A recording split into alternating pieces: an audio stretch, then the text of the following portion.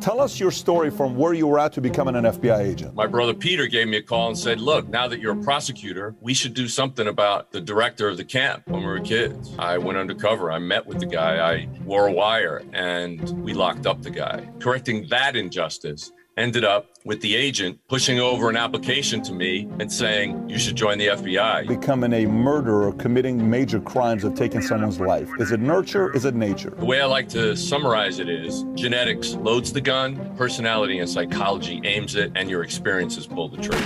What do you mean when you say snipers have a God complex? It's not as easy to pull the trigger on human beings as it is on paper targets. Generally, people choose to snipe versus one on one contact with their victims because they want to feel omnipotent, they want to feel powerful.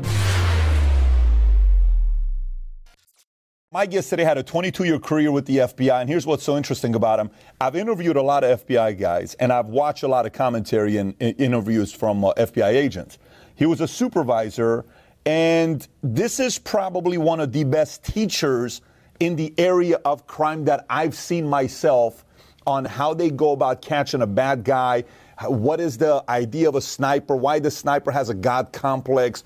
And is it nurture versus nature? The fact that somebody becomes a killer. The way he breaks it down is very interesting. And he's from an interesting family as well. Both he and his brother, two brothers, are FBI agents. Him and his other brother, Tim, are FBI agents. Peter took a different route, became a business owner. Now they're all running the business together, which uh, we'll talk about maybe throughout the interview. But having said that, Jim, thank you so much for being a guest on Valuetainment.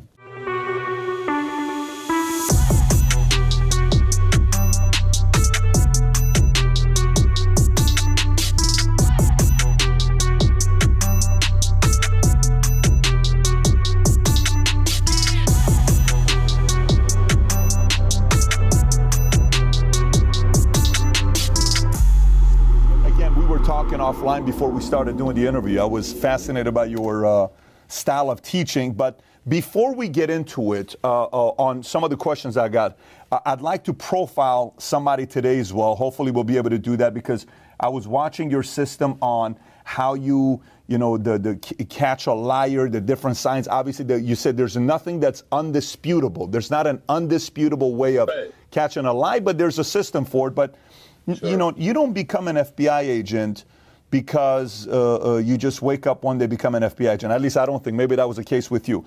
Typically, there's got to be a reason, a drive, a story, family, upbringing, sports. You know, uh, correcting an injustice. Tell us your story from where you were at to becoming an FBI agent. Well, that's pretty pretty insightful on your part there because there are at least two injustices that I think I tried to correct, um, and becoming an FBI agent helped me do that. Uh, but when I was a kid, uh, just a toddler, I was always exploring things. I remember I asked my mother how the clock in the kitchen works, and she said, "Well, you plug it in, and the electricity makes it move." And I was like, "No, I mean, how do the hands know how fast to go?" So I couldn't reach the one in the kitchen, but I could stand on a chair and grab the cuckoo clock in the living room. And I got a pair of pliers and a screwdriver, and I and I opened up the back of it. I took out all the gears and figured out why the one arm went faster than the other. And of course, my mother found me with the whole thing all disassembled on the living room floor. And she let out a scream because it was a family heirloom. And I carefully put it all back together. And to me, that kind of sense of exploration, it want, I wanted to be a detective. I wanted to figure things out. But then I became a chemistry major in college, chemistry and philosophy, then went to law school. And I thought, well, joining the police department would kind of be taking a step backwards. I couldn't just walk in to become a detective. And so I became a prosecutor. And that was very fulfilling, very busy work. But then I I kind of had this thing in the back of my head. My grandfather was killed by the mob. He owned a construction company in, in New York City. He wasn't playing their games and he ended up getting accidentally electrocuted on this on the site. And a month later, his son, who took over the company, my my cousin, my excuse me, my uncle Guy, he was also killed in an accidental bulldozer accident. And my father actually went to law school on the GI Bill to sue to get the company back. And by the time he did, these uh, sort of mob union guys had taken over, sold off all the assets, and he got you know pennies for this company that was actually doing millions of dollars of work. They they built the Manhattan County Courthouse, a bunch of buildings on Fordham, Columbia, Columbia Law School, and uh, the Brooklyn Battery Tunnel. You know, they were doing major jobs, and and it was gone. So my father had to start from scratch. So I think that that sense of injustice ingrained in myself and my brother Tim uh, a desire to actually make sure justice happens for other people. And the other thing was that my brother Peter gave me a call and said, Look, now that you're a prosecutor, we should do something about that the director of the camp when we were kids. And I said, Whoa, why? And he said, Because I once snuck into his office and I found hundreds of pictures of him molesting boys. And I said, I thought I was the only one. And so the next day I went to the FBI and NYPD task force on sexual exploitation of children. We started a case and I went undercover. I met with the guy. I wore a wire and uh, we, we locked up the guy. And he had been responsible for somewhere between 50 and 200 victims over the course of his career. He was he worked for the Catholic Church. He taught in 23, excuse me, he taught in 13 different Catholic schools over 23 years. Every time there was an allegation, they let him walk out the door and go down the street to another school. And so correcting that injustice ended up with the agent pushing over an application to me at the end of the trial and saying, You should join the FBI. You did an amazing job on this case. And literally, that's how I became an FBI agent. So it was a sense of correcting injustice, and it helped me turn something that was very difficult in my life into something very positive by helping victims get through the same kind of thing or very different things. It made me feel better about the experience I had in my life. So you said Peter called, not Tim, right? So Peter's the one that's Peter not called. the FBI agent that Correct. called to you when you were a prosecutor saying, let's go after that director. Did he Yes. know the story with you and the director, or he did not? Not until he made that call. I never told anyone. Okay, well, so he, I did tell knew, the priest at my school who told me, I absolve you of your sins, say nothing more about this. Years later, I would be investigating that same priest who molested kids in my class. You got to be So- kidding me. no, I'm serious. And so, you know, there was a lot of stuff that happened that uh, I felt really set me on a course to try to correct things rather than let them exist as they Now, were. now, Jim, you're from uh, San Mateo, California, but you're from New York. there, New- yes. Yeah. What's what, Clemente? What kind of a what nationality is your family, mom and dad? Uh, well, mom was actually Scotch Irish, and my father was Italian. So I'm about when I did 23andMe, it's like basically 49.2 percent Italian, 49.4 percent Irish. So I'm about half and half there. So they told you the truth. You see, when I did mine on Ancestry, uh, I, I was told I'm half Assyrian, half Armenian, but I'm 18% Italian, and I still can't figure out who hooked up with an Italian. So that's a mystery in our family. Mom and dad won't tell me anything. But so it could have been, yeah, it could have been something way, way, way back in history. it Who probably knows? was. I mean, listen, I wouldn't be surprised because Italians are pretty smooth, and uh, somebody was probably a smooth talker. But but are you you still go. a Catholic? Are you still a Catholic yourself, or no? I actually separated from the church. I, I was pretty disgusted by how they handled things. Not, I mean, I'm only giving you the scratching of the surface, Sure, but sure. I, I did when I joined the FBI. They assigned me to the very task force, the Sexual Exploitation of Children Task Force in New York City. It was an NYPD FBI Joint Task Force.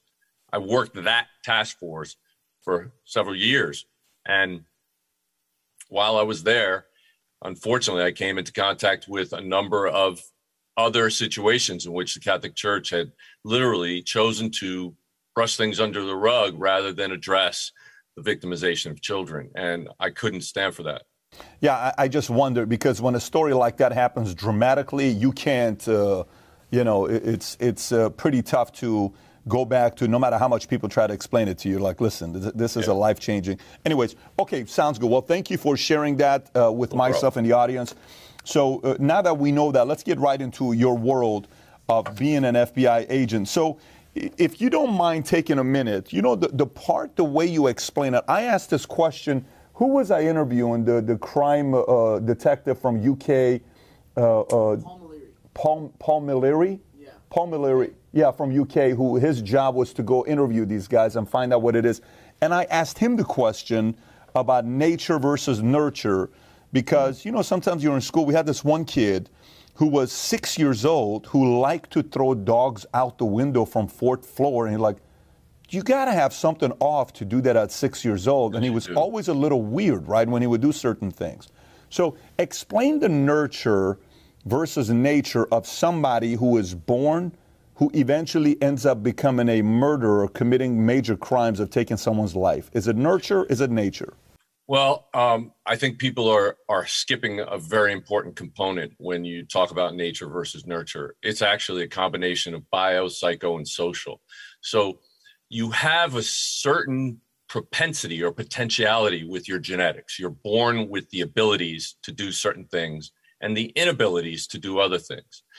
But your psychology and your personality are the filter through which you experience life. So your socialization is actually filtered through your psychology and personality. And then your personality is actually made through the millions of little private decisions you make in your own brain. So that's how you affect how life affects you. And so the way I like to summarize it is genetics loads the gun, personality and psychology aims it, and your experiences pull the trigger. So unless you have that perfect storm of all three aspects, you won't get somebody who's going to go out and kill somebody, you know, they've done twin studies where where one twin who's got the same genetics, identical twins, is in a is in a difficult situation, and his parents are suffering and they're sacrificing and they're not even getting enough food, right? Because they're feeding their kids. And that one kid says, I I love my parents. I, I, I, I see how they suffer for me. When I grow up, I want to make sure they want for nothing. I want to take care of them. And the other twin says, Are you kidding me? They don't even give us what we deserve. We deserve better. They're failures. I hate them. And that's the same genetics. But the decisions that the one twin made in his own mind, instead of pushing away from the dark side, he embraces it and that's the negative spin he puts on everything he experiences.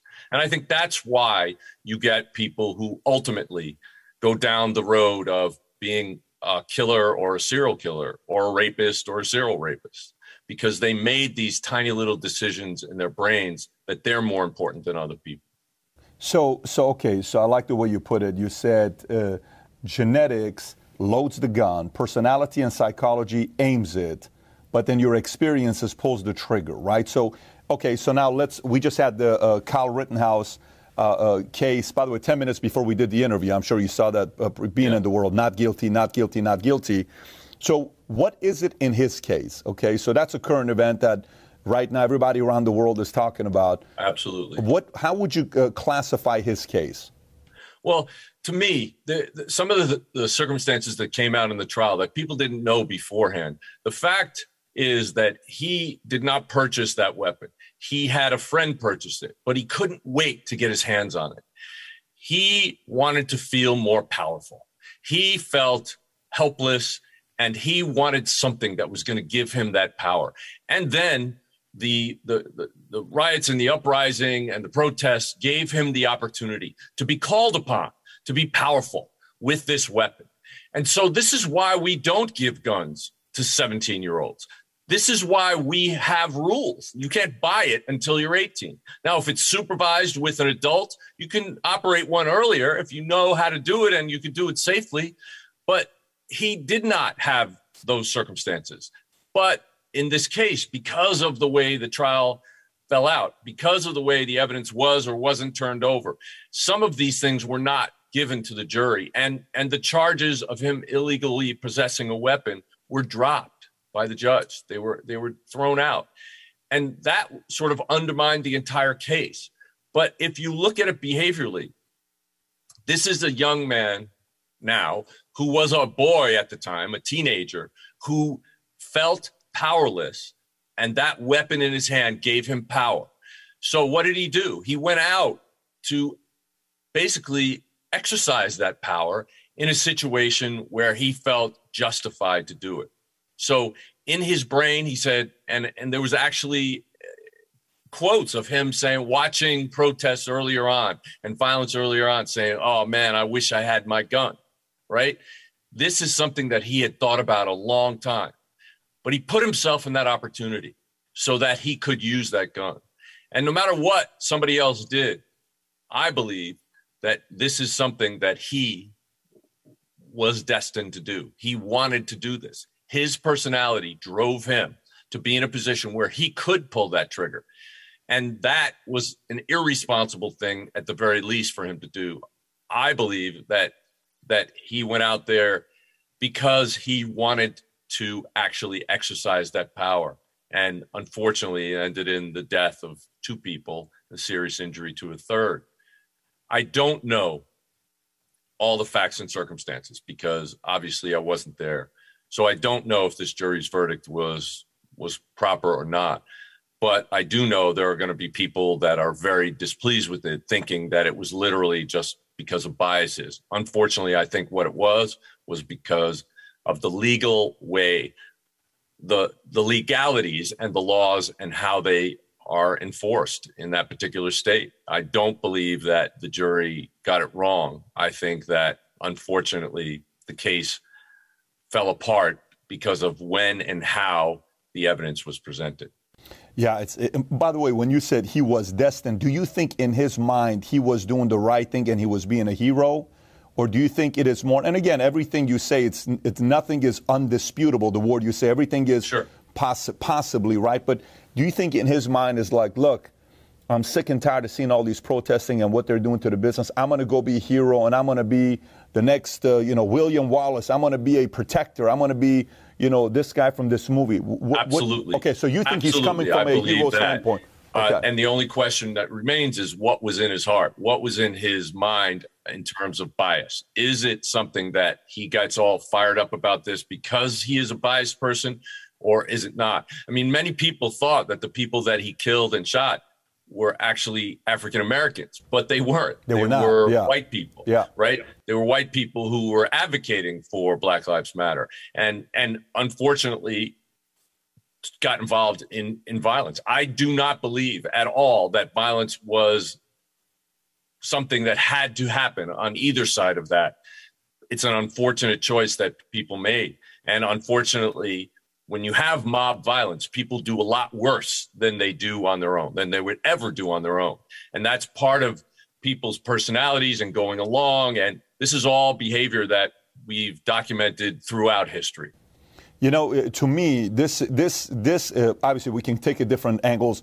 One guy brought up the politics side. I said, listen, if this guy's, uh, if you're thinking this is political, the judge that said not guilty, not guilty, not guilty based on what the jury said, the judge was appointed by Obama. So it can't be political. This is a, you know, of course they want to make it political. Don't get me wrong. The state is worried. 500 National Guards. You've read it. I've read it. We know the stories about how worried they are about what could potentially happen there. But all I think about in a situation like this is how we can improve as a society, not how to work Thank backwards. You. So, you know, as a parent, your, your parents would say, you know, nothing good happens after midnight. You know those stories. You're like, Mom, you don't know what you're talking about. I'm going to an after hour, so 4 o'clock in the morning you know, and then one instance you go to a club and there's shooting, you know, guy gets shot, one of your friends gets shot. You're like, you know what, man, half these things parents tell you when you're a kid about not going to these places is right. So, you know, even getting yourself caught up to go get in a protesting like that, a riot to support something that turns ugly, you're one foolish decision away from ruin your life. So I I couldn't agree with you more. And unfortunately, as I said, it's it's the kind of thing where it's sort of a snowball effect. I mean, once he went out there with the intent to to sort of assert this new power that he had with this gun, uh, this kind of thing was inevitable. I think for him. Yeah, I you know I, I, wonder how much of that has to do with the steering of the pot, whether what was going on with the politics at the time, the left, the right, the media, who knows? But all I know is it led to two people not being here right now. So whether it's guilty or not guilty, that family is still going to be mourning about the loss of to their kids, brother, yeah. you know, whoever that, you know, the, the connection it is to the family. But okay, so let's process that from a logical standpoint.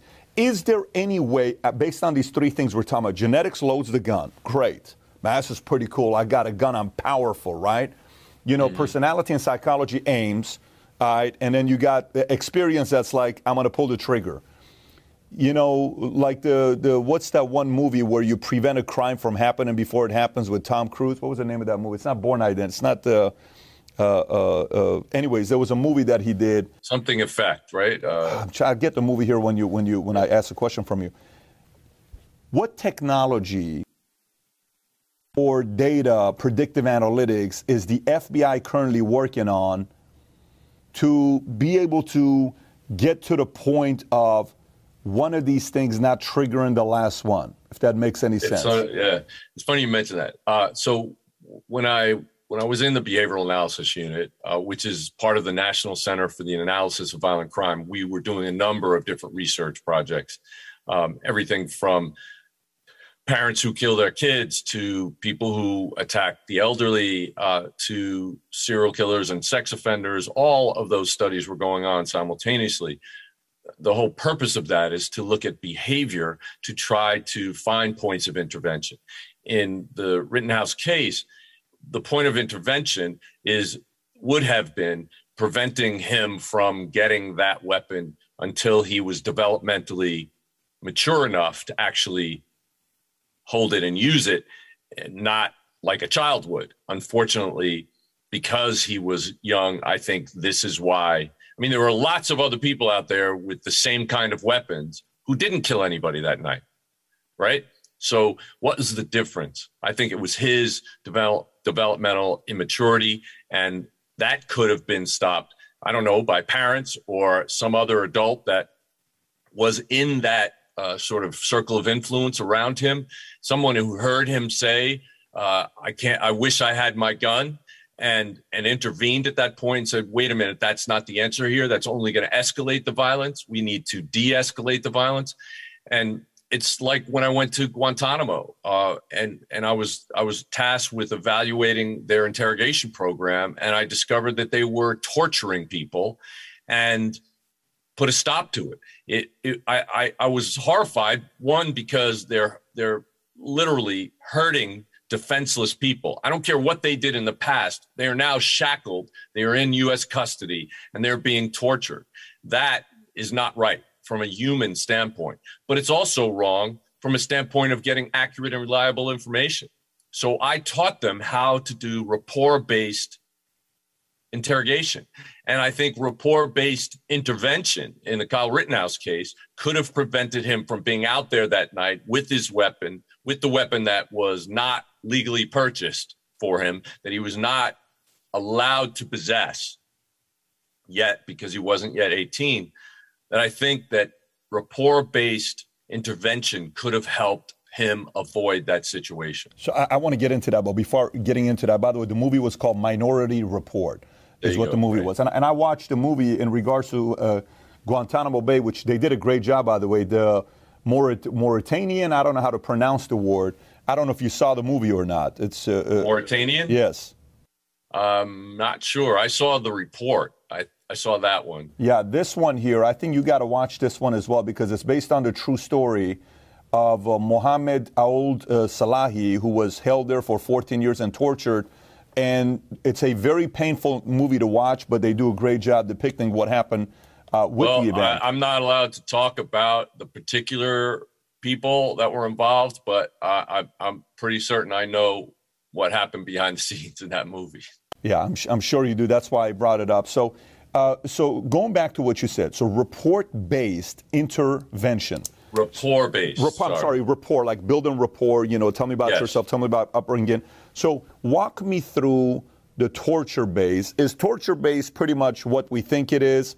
Uh, where you know pain, anything they can to eventually get this person to say yes and then is rapport based, taking a little bit more time to build a relationship. Can you give us the differentiation yeah, sure. from your you, point of view? I'll give you the, the, the both sides of it. So the the program that they were implementing, it, it was called Fear Up, Person Down.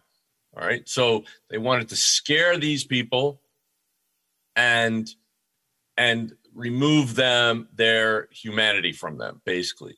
They were humiliating them. They were confusing them. They were keeping them up all night. They were shining bright lights in their face. They were playing loud music. They were having guard dogs. They were doing all sorts of, of very cruel things. And then it just escalated as time went on to worse and worse things.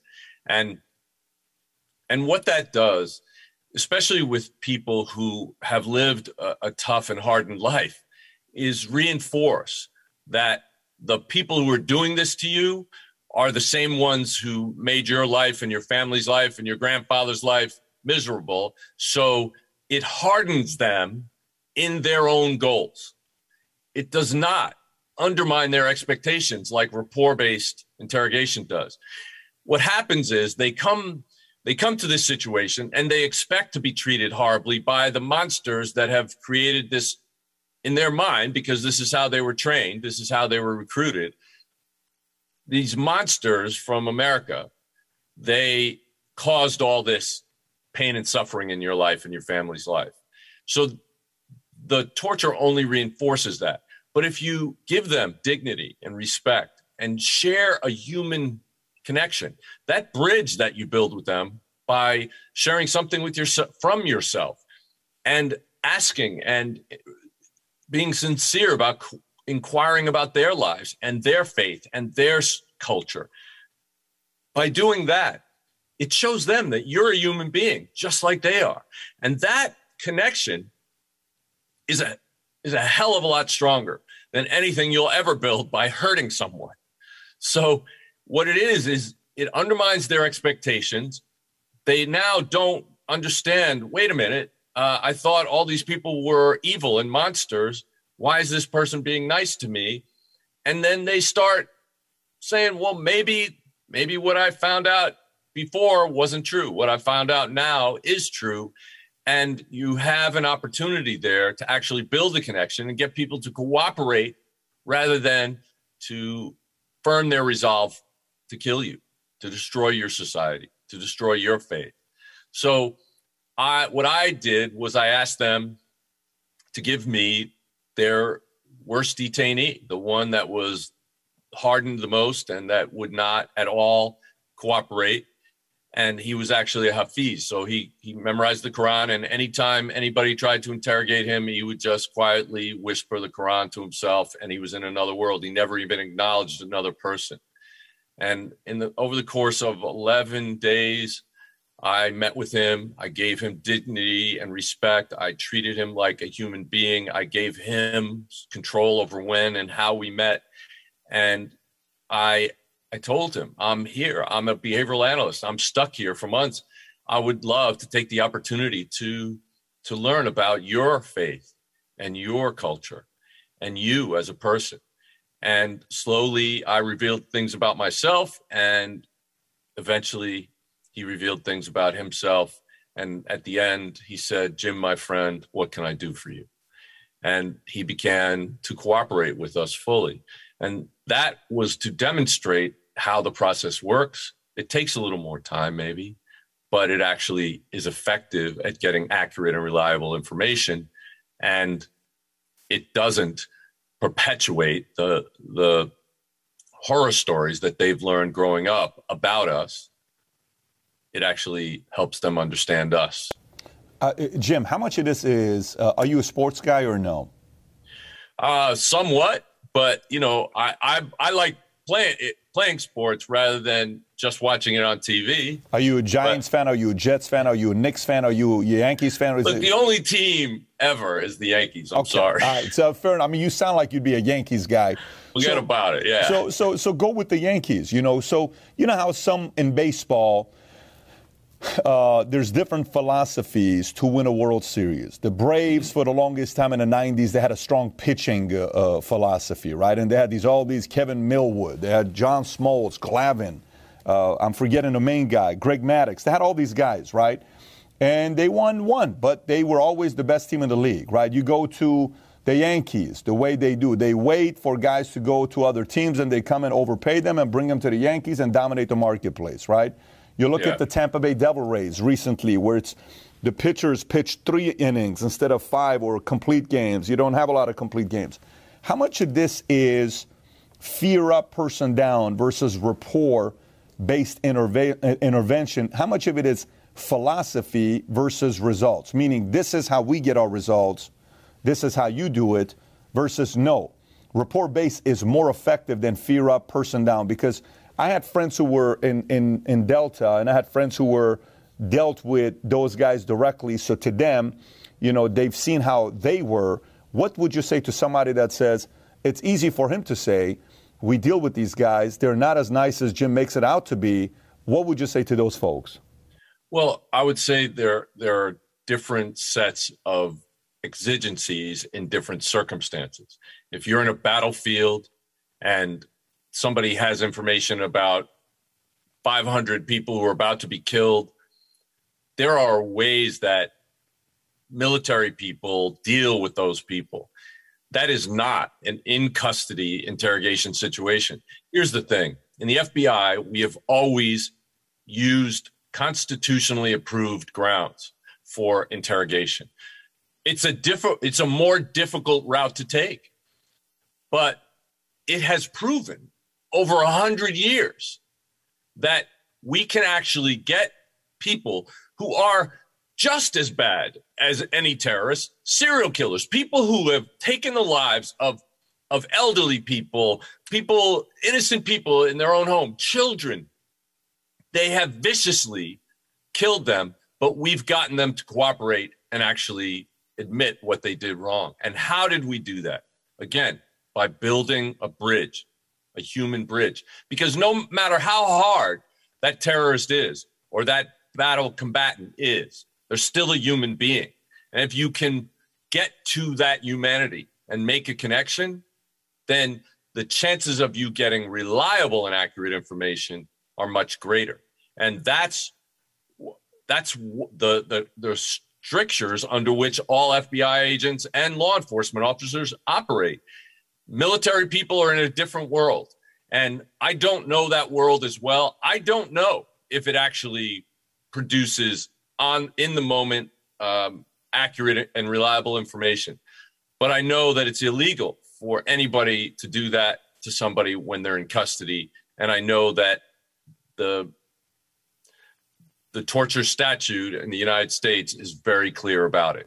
Well, you know the Geneva Convention, their their uh, the code amongst how you're supposed to treat a POW is a pretty clear code amongst everybody that follows yes. it. But but you and I know what happens. The, the the part that made it interesting with Paul Mallory, the guy from UK, who his job is to go sit down and, and talk to these guys that just apparently killed somebody, and they're potentially the suspect, is he says in UK the law is I have 36 hours, so I have to try to get information in 36 hours. In your world, you have time on your side, so maybe you're like, look, I'm going to be here for six months.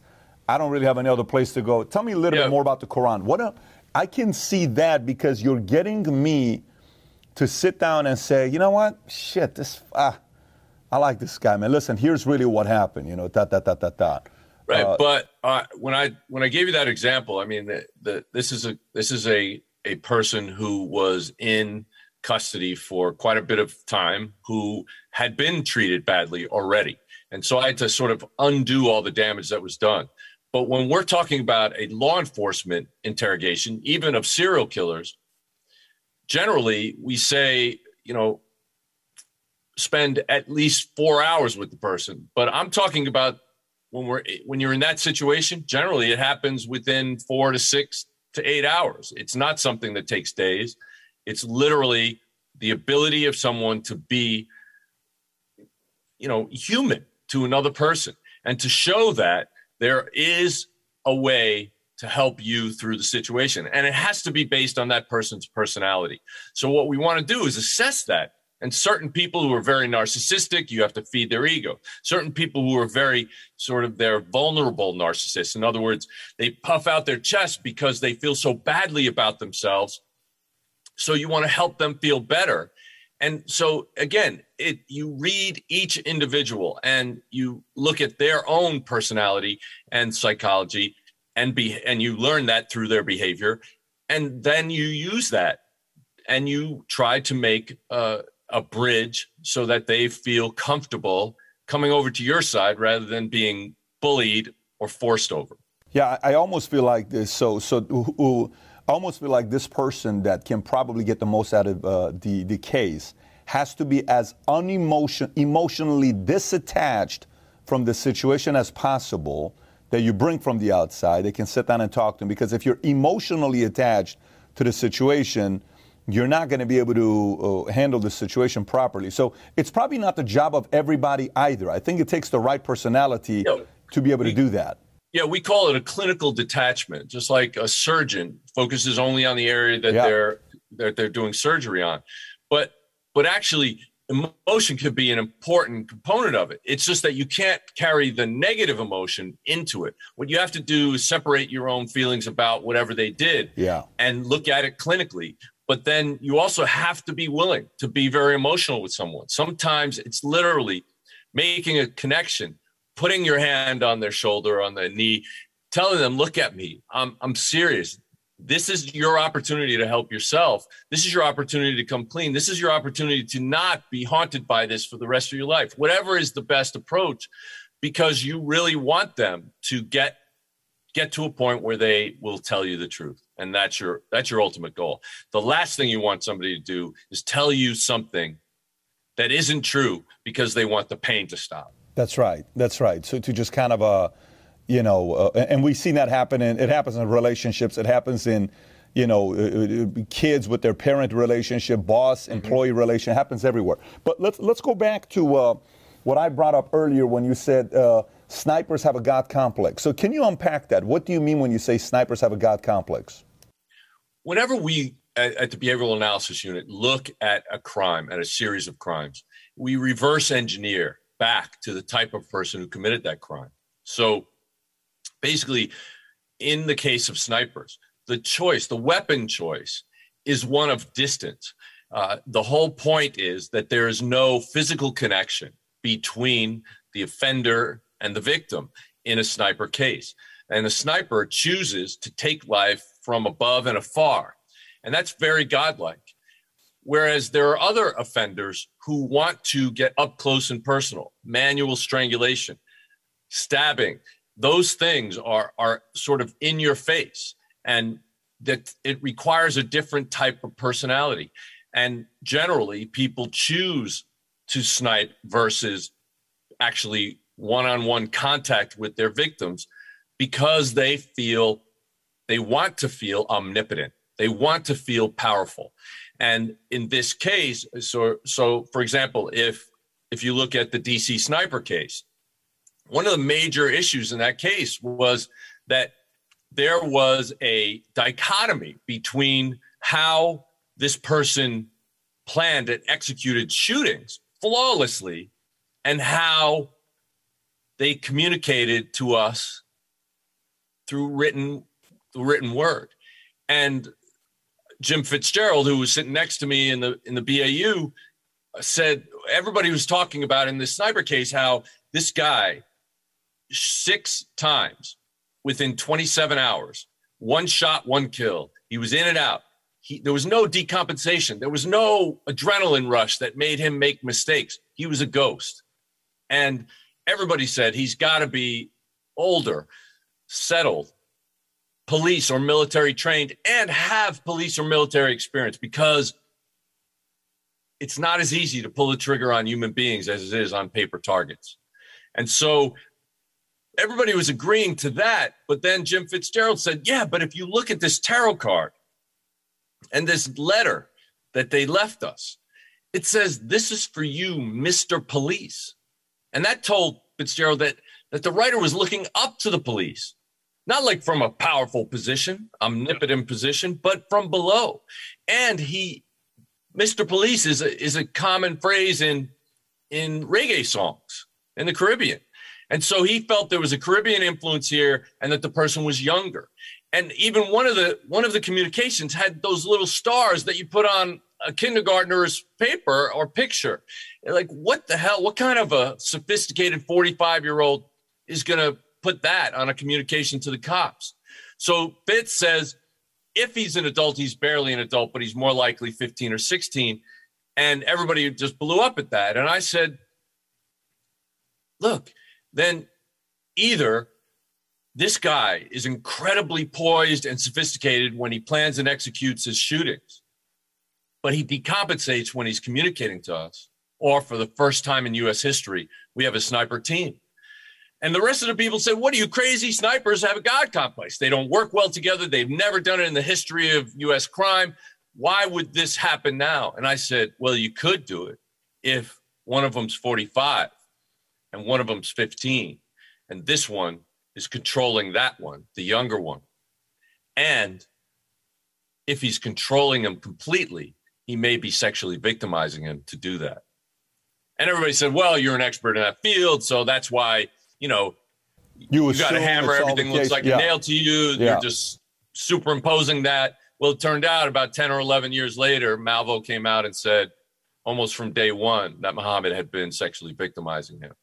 And so those things, those behaviors leaked out information that they didn't intend to give us. So we put that into the profile that they were African American and one was 45 and one was 15, and that they probably have a Caribbean influence in their life. And and within 24 hours they were arrested. Now we we go through that in in in in a uh, audible original series that we created, Call Me God, where my brother and I tell our different stories because we both Tim and I worked that case together. We were sort of off the grid because we weren't supposed to be working the case, but these shootings happened in our own neighborhood and we couldn't let it go. Tim's wife was at the, the same gas pump that one of the victims was shot at 10, 10 minutes later. That's how close to home it was. So these cases sometimes uh, you can't avoid working them. You know, they you're drawn into them. And Tim and I had a very different way of looking at it. He was out with he's a sniper. He knows snipers. He was out hunting with his SWAT team looking for opportunities where they might strike next. And he was 1 mile away from the Home Depot when an actual FBI employee was shot and killed at that Home Depot. He was the first law enforcement officer to arrive at that scene and we were very early on the scene in the in the Fredericksburg shooting uh, situations because that's where we lived at the time. So the fact is that the behavior that these offenders exhibited told us that for the first time in U.S. history, we had a sniper team. They had a God complex. Muhammad certainly had a God complex, and he was trying to ingrain that into Malvo. But Malvo would never have been involved in that level of violence had it not been for Muhammad basically forcing him into it. What a technical case, though. I mean, uh, how how does one make those two connections with a 45 year old and a teen because you're getting a feel of both when they communicate doesn't uh, i mean that, that... Uh, it, it's funny because tim found the found the, the letter at one of the shooting scenes in Ashland, Virginia. And that letter gave me and Jim Fitzgerald and the rest of my team the information. I mean, it leaked out information. That's what behavior does. That's they call us in not when there's you know plenty of DNA and blood evidence and the weapons found at the scene uh, or a video of the offender exists. They call us in where there's nothing and we take the behavior and as i said we reverse engineer back to the type of person who committed the crime there's so many things so in that case victim choice they were random victims again that goes along with the god complex. It's not like he had a connection with these victims. He just wanted to take life indiscriminately.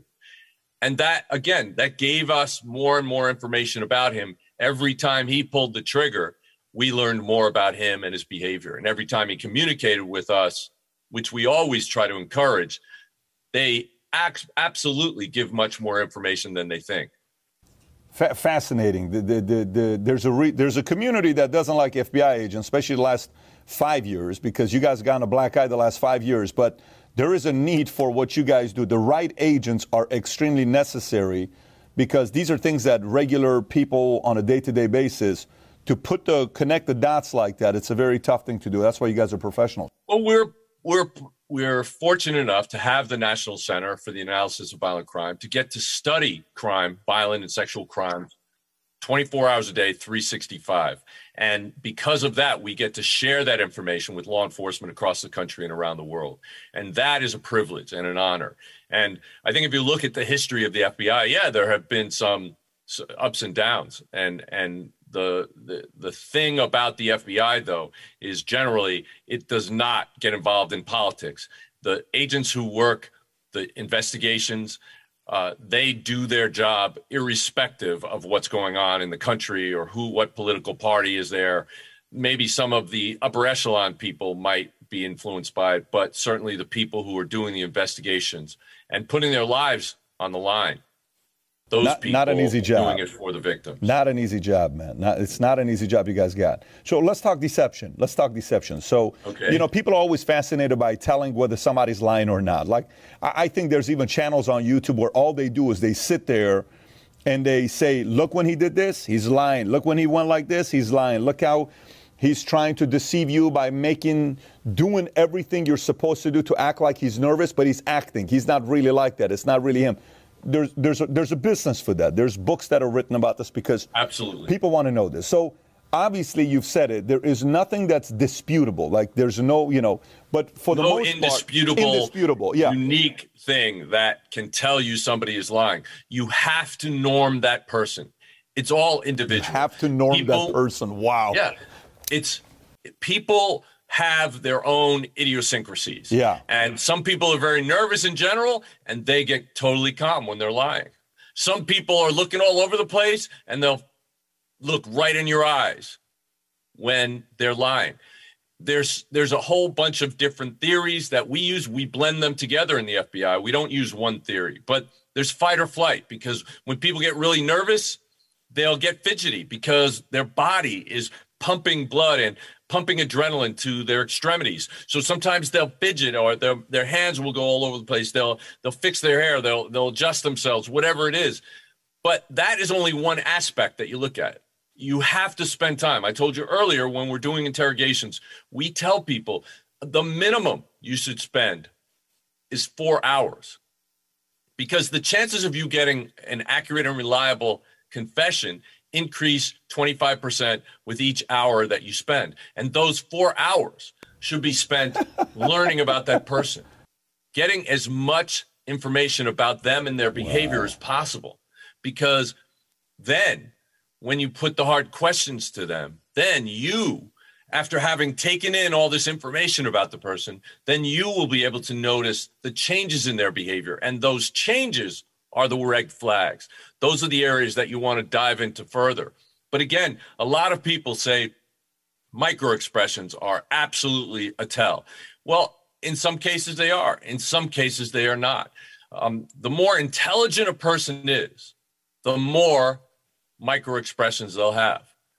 The lesser intelligent people sometimes will will have no facial indications at all that they're lying they they their facial expressions don't give away much at all but their behaviors or the words or their language or how they use certain words or the changes in words it's a very complicated thing i used to teach deception detection at the FBI Academy. Uh, believe me, it's it's a months long course. It's not something I can just summarize in one day. But I will tell you this: in the FBI, we actually believe that if people if people are lying to you that there are going to be indications that they are lying.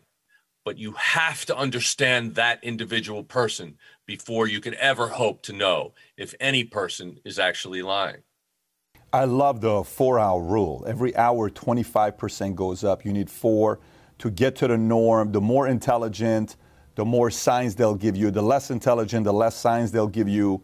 Uh, uh, just out of curiosity. And, and, they may do impression management. The intelligent people will give you what they think you expect from a truthful person. And that might be looking right into your eyes when at the very point when they're lying. And that you have to see that that's a change in their behavior. Why did he stare in my eyes that time? But all this other time, he's telling me about his favorite team, where he goes to work, how he drives to work, oh, you know, what he drinks at night. all these things, and he's just looking all over the place. But when he said he wasn't there on the fourth, he was looking straight in my eye. now, most people believe that gaze aversion, looking away, is an indicator of lying. When in that case, it could be looking at you is the indicator. So if you didn't norm that person, you would never know it and you would think he's lying about the wrong things. But another really important thing to prevent false confessions is to make sure that you never just take it at face value. You see indications of lying and you you dive in, but the person could be lying about something totally different. In other words, they they don't want to give you the ap- actual alibi because they were having an affair with someone. And they can't say I was at this motel with so and so because even in a homicide investigation, the last thing they want is their wife's anger.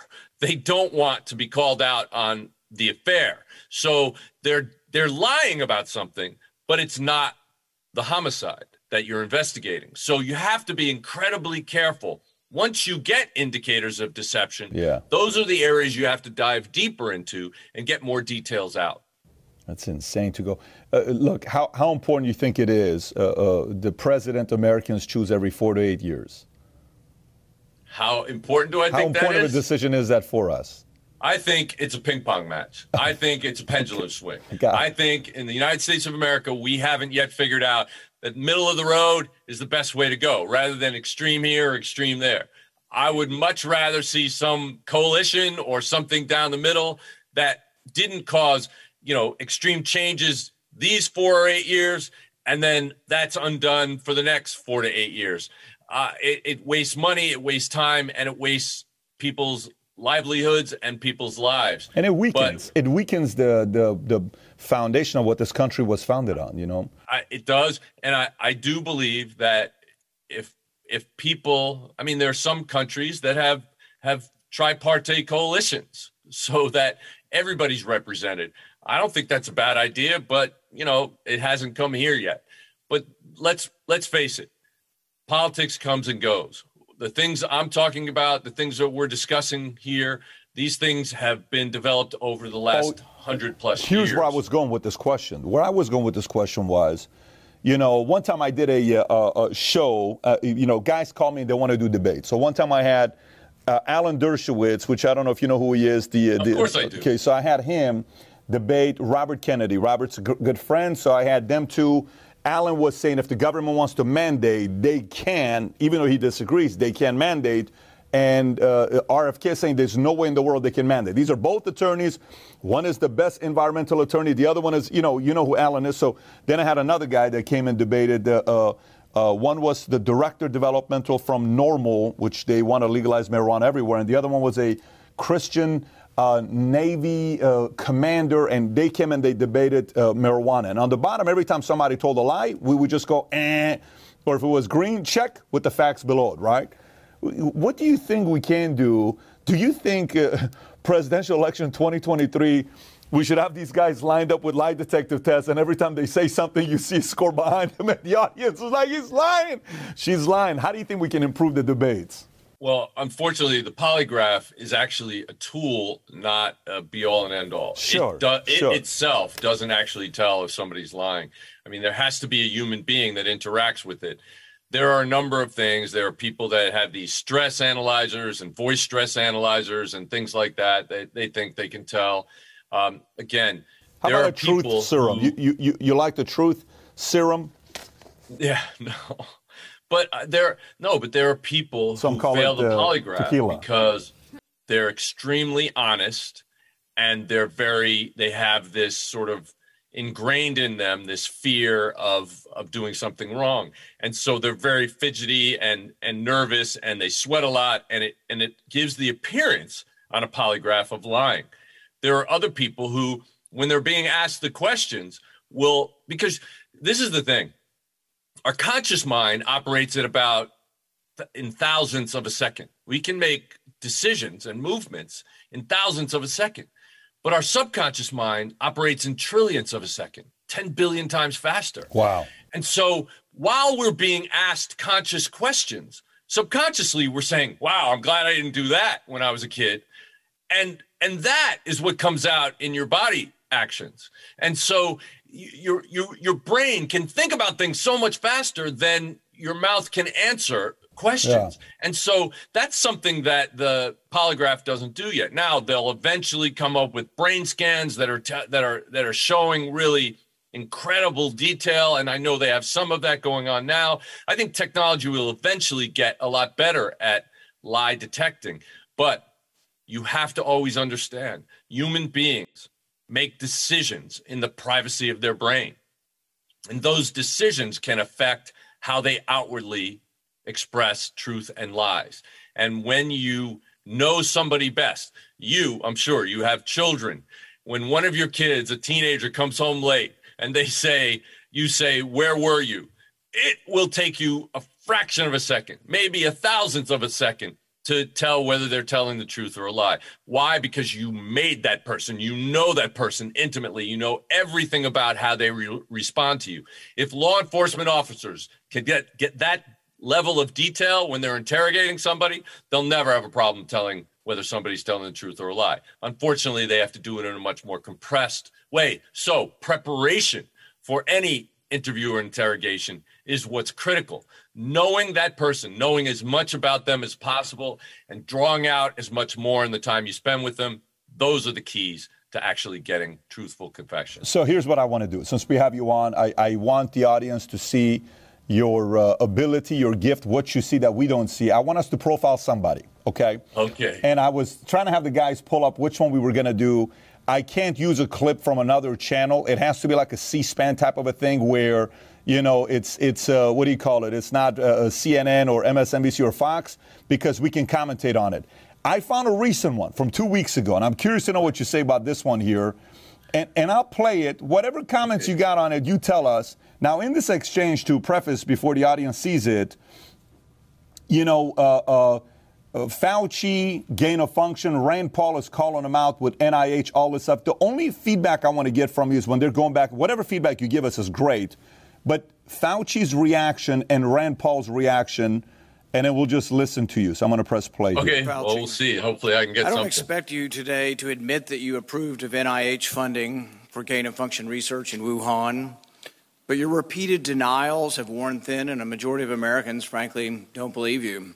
Even the NIH now admits that EcoHealth Alliance did perform experiments in Wuhan that created viruses not found in nature that actually did gain in lethality. The facts are clear. The NIH did fund gain of function research in Wuhan despite your protestations. You can deny it all you want, but even the Chinese authors of the paper, in their paper, admit that viruses not found in nature were created, and yes, they gained in infectivity. Your persistent denials, though, are not simply a stain on your reputation, but are a clear and present danger to the country and to the world. As Professor Kevin Esvelt of MIT has written, gain of function research looks like a gamble that civilization can't afford to risk. And yet here we are again with you steadfast in your denials. Why does it matter? Because gain of function research with laboratory created viruses not found in nature could cause a pandemic even worse the next time. We're suffering today from one that has a mortality of approximately 1%. They're experimenting with viruses that have mortalities of between 15 and 50 percent. Yes, our civilization could be at risk from one of these viruses. Experiments that combine unknown viruses with known pandemic causing viruses are incredibly risky.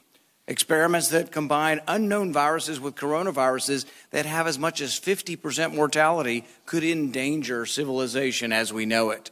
And here you sit, unwilling to accept any responsibility for the current pandemic, and unwilling to take any steps to prevent gain of function research from possibly unleashing an even more deadly virus. You mislead the public by saying that the published viruses could not be COVID. Well, exactly no one is alleging that. No one is alleging that the published viruses by the Chinese are COVID. What we are saying is that this was risky type of research, gain of function research, it was risky to share this with the, with the Chinese, and that COVID may have been created from a not yet revealed virus. We don't anticipate the Chinese are going to reveal the virus if it came from their lab. You know that, but you continue to mislead. You continue to support NIH money going to Wuhan.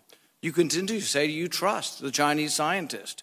You appear to have learned nothing from this pandemic. Will you today finally take some responsibility for funding gain of function research in Wuhan? Senator, with all due respect, I disagree with so many of the things that you've said. Gain, first of all, gain of function is a very nebulous term. We have spent, not us, but outside bodies, a considerable amount of effort to give a more precise definition to the type of research that is of concern that might lead to a dangerous situation. You are aware of that. That is called P3CO. We're aware that you deleted gain of function from the NIH well, website. Well, I can get back to that in a moment if we have time. But let's get back to the operating framework and guide rails of which we operate under. And you have ignored them. The guidelines are very, very clear that you have to be dealing with a pathogen that clearly is shown and very likely to be highly transmissible in an uncontrollable way in humans and to have a high degree you of morbidity. And so how does it feel so far? He is very poised and calm and very focused. And what Senator Rand was doing was putting lots uh, of words in his mouth. In other words, he was he was quoting Dr. Fauci over and over again. He was telling Dr. Fauci what Dr. Fauci has done bad. You know, he's he's he's basically giving him all these kinds of negative things. The of course we're only seeing we don't have a constant camera on him, which would have been nice, but we're seeing cutbacks to Dr. Fauci and and he's basically placid. Yeah, there, even the breathing he, when he answered at first, I don't know if you caught that his breathing was a little bit.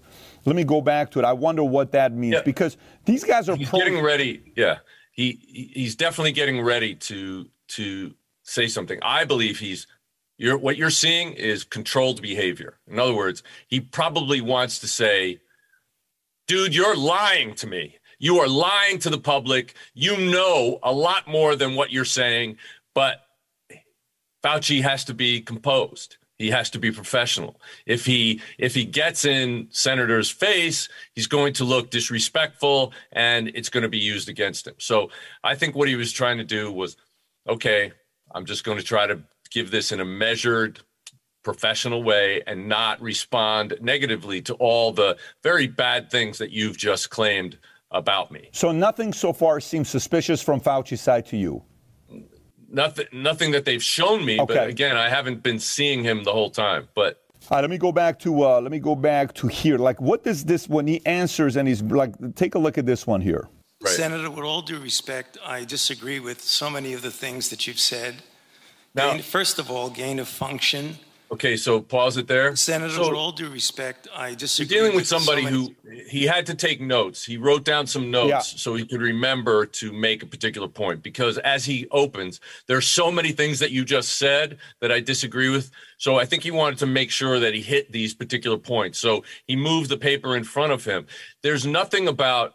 I, I look at the totality of everything, not just how his hands move, how his eyes move, how his facial expressions change, because there isn't much in terms of facial expression change in here. And again, that's someone who is intelligent. That's someone who controls himself. He he he almost took a little, you know, sort of like a deep breath before you're about to sort of let loose, but you want to hold back.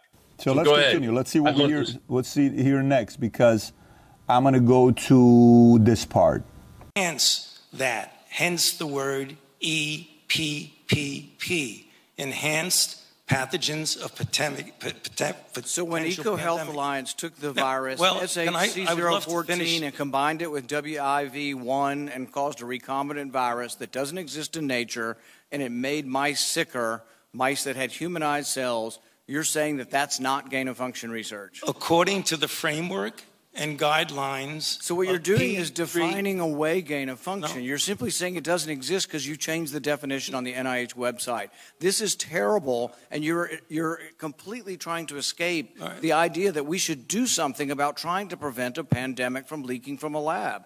There's the preponderance of evidence now points towards this coming from the lab, And what you've done is change the definition right. on your website to try to cover your ass, basically. That's what you've done. You've changed the website to try to have a new definition that doesn't include the risky research that's going on. Until you admit that it's risky, we're not going to get anywhere. You have to admit that this research was risky. The NIH has now rebuked them. Your own agency has rebuked them. But That's, the thing is, is you're still unwilling to admit that they gained in function when they say they became sicker. They gained in right. lethality. It's a right. new virus. That's not gain of function according to the definition that is currently operable. You know, Senator, let's one. make it clear for the people who are listening. The current definition was done over a two to three year period by outside bodies, including the NSABB, two conferences by the National Academy of Science, Engineering, and Medicine on December 2014, yeah. March 2016. We commissioned external risk benefit assessment.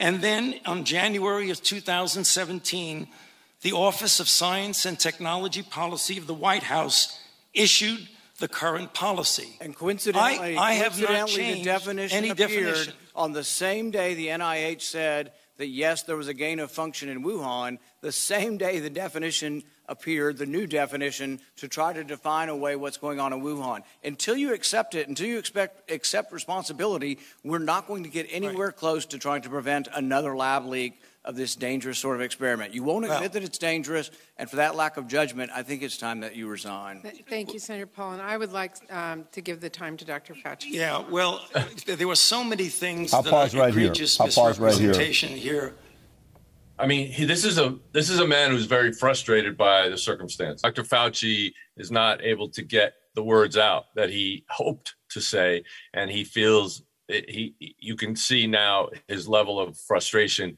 has has removed some of his composure, and he's trying now to actually get out the foundational statements that he believes will support his position rather than the senators.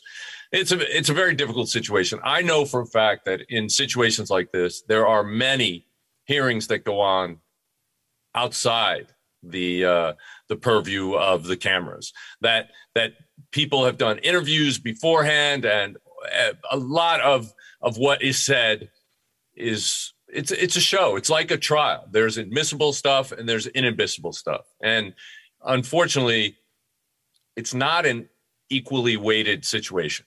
Senator in, in, sitting on the on the in the tall chairs uh, has more power than than any witness that's going to be sitting uh, in front of them.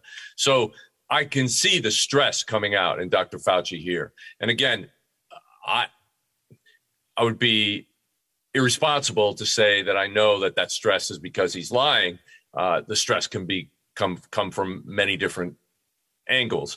Uh, I would like to spend more time with Fauci and get to know him and get to know what he's like under stress, as well as whether or not he he um, is capable of of of of lying and being completely impervious to indicators of that because it's a possibility, especially when somebody is is intelligent. Clearly, he is intelligent, but you don't see what what you would generally see in in a in a person who who's just panicking because they've been caught in a lie, quote, caught in a lie. Did he look like I, he was panicking a little bit? He looked like he was panicking a little bit to me. I don't know if. No, yeah. Well, yeah. what I said was at the end, he was definitely he definitely looked like he was stressed. But from what I've seen, and again, this is just my uh, observation from what I've seen, he was cut off in the middle of his explanation. He was he he resorted to reading the definition from a piece of paper because he did not want to. Um, get interrupted and not give that information out. It's a, like I said, it's just a, it's a very difficult situation to be in. But could he have uh, funded this? What was it called? Something gain, gain, gain of function. Gain of function gain is. Could he have fund? Could he have uh, knowingly funded gain of function research? And uh, like the senator said, they changed the definition in the process. Uh, it's it's possible. I mean, it's I wouldn't rule it out, But again, I, I don't feel like I have enough information to tell you that that is what he's getting stressed about. I can tell you he's getting stressed, but I can also come up with two different possibilities of why he's stressed. Yeah, you know the situation or because he's lying. You know the the the challenge is, you know, uh, at first when they introduced this guy, I mean nobody knew him except for the people that studied it. You know, they knew he was part of the AIDS pandemic back in the 80s and you know, uh, uh, where he has been around, he's been doing this for a while, then all of a sudden it's like the trust in the guy keeps going lower. Then one day Jon Stewart comes out on uh, Stephen Colbert's show and he says, look, why can't we go investigate the fact that uh, this was man made or not in China? Why is that such a no no? Why can't we talk about it? And that caused a big frenzy in the media where everybody started talking and saying, maybe we ought to find out because the world stopped. Let's face it, a lot of kids didn't go to school, they were homeschooling. We don't know the residual effects of this 5, 10, 15, 20 years right. from now, but everybody was somehow directly or indirectly affected by it. I'm just curious when you see these things um, and see signs of it because he looked very, very nervous to me. Like, you know, when you showed that one clip of Nixon, and Nixon yeah. says, you know, I'm not a crook. Like, if there's anybody who's not supposed to say it, it's a president. He says, I have so much confidence that if you want to investigate this, you know, that whole thing you were uh, highlighting. Right. And then, and then uh, the way Clinton put it, which I have had no sexual relation. There is there is no sexual relationship. Yeah, is right so now this general. second. I am yeah. I am not having sex with, with Monica Lewinsky. Right now, I'm not. Right. Yeah. So you know these guys are such professionals with wordsmithing, so you don't necessarily know. But the reality is, you know, if uh, Anthony Fauci gets recognized by Guardian as the sexiest man alive, maybe we ought to hold, hold him accountable for what decisions he's made on what we need to do with this. Because I don't know if you're laughing or not, he was really recognized the sexiest man alive by Are Guardian. you serious? I'm actually being dead serious. you you you didn't know about this? He was well. No, I didn't. I didn't know well, about now you know. You, know you, just heard from the sexiest man alive. That's what you that just. That gives me hope. I mean, you know. I we should we should go tweet Guardian and say, hey, can we make the top ten list? I don't know the yeah, top li- twenty yeah, list. Literally. Put a list for it. But okay, uh, uh, final thoughts here. I know you uh, uh run a uh, podcast as well called Best Case, Worst Case, and you guys sit there and actually bring people in and you go through different cases. Tell us a little about the podcast you guys run. So yeah, Francey Hakes and I. Francey was a former state and federal prosecutor, and she and I interview cops and lawyers and related law enforcement professionals about the best case and the worst case of their career. The point is, we want to show people in the public what the spectrum and the continuum of cases is like for a law enforcement officer, street cops, detectives, prosecutors, defense attorneys, everybody in that process. We haven't yet interviewed a judge. We'd love to, but everybody in that process is affected by the cases that come before them. And there are people who have literally spent two, three, four decades working on a case to ultimately resolve it because they couldn't let it go. And some of these cases really affect people. I know that they have affected me, even though I developed a clinical detachment while I'm working on the case, while I'm analyzing a case of of you know brutality or or sexual victimization i have to detach clinically while i'm doing it but i'm still a human being and i understand what went that person went through. And i have a tremendous amount of empathy and and many law enforcement officers carry around all this pain and suffering that they are exposed to. And it can ruin lives and marriages you know on the part of law enforcement officers. And especially when the public is is sort of geared up against them and and they still are out there risking their lives every day to try to keep the piece. and this is the goal of best case worst case to show how who these people are that choose a life of law enforcement and how their careers can go from one extreme of, of success to another extreme of, of just horrific failure. Well, we're going to put the link below, below to your podcast. I love the name Best Case, uh, Worst Case. Like I said earlier, uh, from watching your videos, being a great teacher, man, listening to you, uh, I get smarter about your world of how you do what you do, all aspects of it. I appreciate you for taking the time and being a guest on Value Valuetainment. By the way, Some tells me if you and your uh, co-hosts were to take a little bit more time to go deeper and study more of the Fauci Rand Paul back and forth. They've had like six rounds. If this was a Rocky, they're on Rocky 12 already. I mean, they, have gone back and forth. So there's so much content for you to come up to your four hour number to increase the 25% rate. I think yeah. if you did that, I think you may get a few million downloads of that episode because the world okay. is very curious. So all right, again, well, I will I will definitely tell Francey about your suggestion and and we'll do that because one of the things is that Francey and I we have this sort of brother sister kind of situation where we kind of you know sort of uh, you know gig each other and poke yeah, poke at each other and and we have very different ways of looking at things. So it, it would be great. It would be great. I, I tell you, matter of fact, if you guys do that and it's a long form, I would share it with everybody. And matter of fact, we may even bring both of you guys in for a live podcast and share it with everybody and drive even more people Great. to your podcast. So, well, but I'd be curious. Absolutely. Be very curious. I, I'm writing it down right now. Jim, the moment you guys get a text us, let us know. We'll we'll uh, we'll follow up with you guys on that. But Jim, Great. once again, appreciate your time. Sincerely, I really enjoyed it. Thank you. Thank you so much for having me. And Take care. Anytime. Thank you. So, do you feel like you're qualified now to be an FBI agent? Maybe at least go apply for it. What an interesting way of how they detect everything and what they do. Right? I was fascinated by it. If you enjoyed it as much as I did, give it a thumbs up and uh, subscribe to the channel. Two other interviews for you. you heard me talk a lot about Paul uh, Mallory from UK. If you've never seen him, Mallory, click over here to watch the interview. The other one is an interview I did with former insider FBI agent Donnie Brasco, aka Joe Pistone. It's got like 5 million views. If you've never seen that, absolutely fascinating. Click here. Take care, everybody. Bye bye.